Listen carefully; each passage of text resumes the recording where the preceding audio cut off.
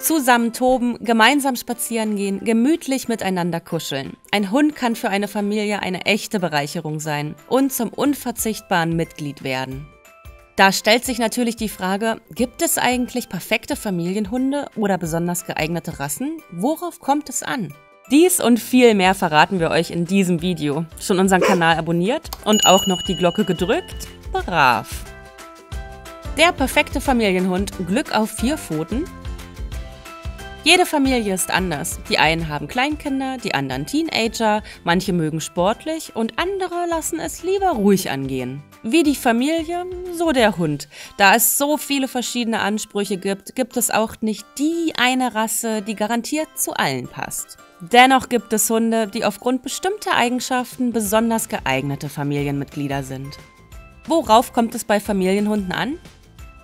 Viele Familien wünschen sich einen kinderfreundlichen, verschmusten, verspielten und nervenstarken Vierbeiner. Willkommen ist außerdem, wenn er möglichst wenig hart, gut ins Familienauto passt und nicht allzu stark riecht. Da können wir nur sagen, die eierlegende Wollmilchsau gibt es auch unter Hunden nicht. Außerdem hat jeder Hund einen eigenen Charakter. Manche gehen zum Beispiel gerne auf Kuschelkurs und andere haben lieber ihre Ruhe. Aber wir haben ein paar Tipps für euch, bei welchen Rassen die Chancen besonders gut stehen, dass sie zu eurer Familie passen könnten. Labrador, der beliebte Geduldige. Das war irgendwie klar, oder? Generell sind Retriever sehr geeignete Hunde und der Labrador ist regelmäßig unter den Top 3 der beliebtesten Hunderassen zu finden. Er bellt wenig, ist geduldig, ausgeglichen und spielt gerne mit Kindern.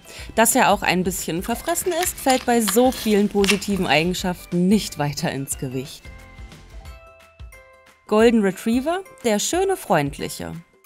Wie der Labrador ist auch der Golden Retriever ein äußerst beliebter Familienhund.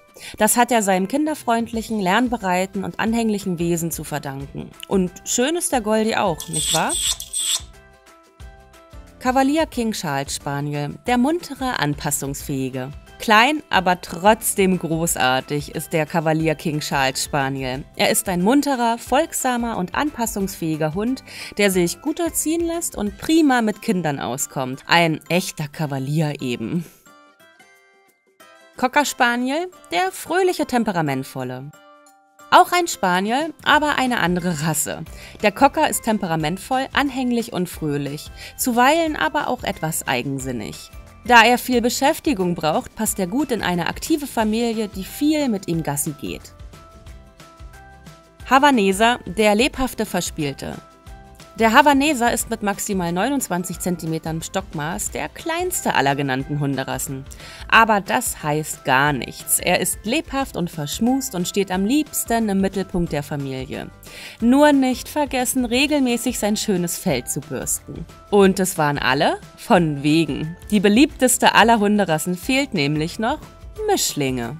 Die haben keine typischen Merkmale, weil sie natürlich auch keine eigene Rasse sind. Viele von ihnen lieben Familien und viele Familien lieben sie. Auf die Mischung kommt es an und nicht immer auf die Rasse.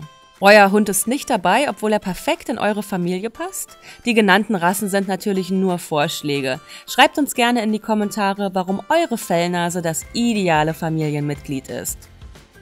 Übrigens, wenn ihr herausfinden möchtet, welcher Hund am besten zu euch passt, probiert doch mal unseren Wunschhundberater aus. Einfach den Link anklicken. Und zum Schluss die wichtigste Frage, welche Familien eignen sich eigentlich besonders gut für Hunde? Hm. Tja, das solltet ihr wohl am besten euren Liebling fragen. Ciao, wow und bis zum nächsten Mal.